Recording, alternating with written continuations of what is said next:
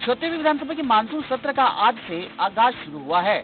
सत्र के पहले दिन दिवंगत सदस्यों को सदन ने श्रद्धांजलि दी है।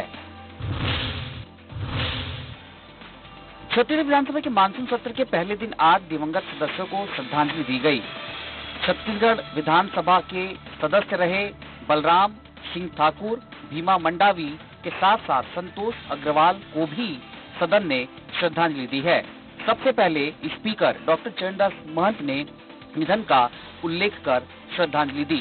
इसके बाद पूर्व मुख्यमंत्री डॉक्टर रमन सिंह, पूर्व मुख्यमंत्री अजीत जोगी, मुख्यमंत्री भूपेश बघेल, नेता प्रतिपक्ष धर्मलाल कौशिक टी एस सिंहदेव, रविंद्र चौबे समेत तमाम सदस्यों ने निधन का उल्लेख करते हुए अपने तमाम संस्मरणों के आधार पर दिवंगत सदस्यों को श्रद्धांजलि दी। भीमा मंडावी की मौत को लेकर सदन बेहद गमगीन नज़र आया।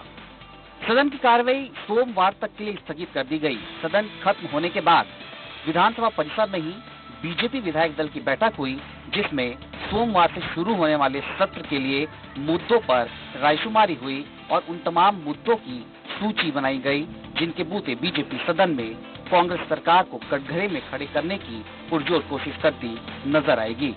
रायपुर से एक्सप्रेस रिपोर्टर आशीष तिवारी।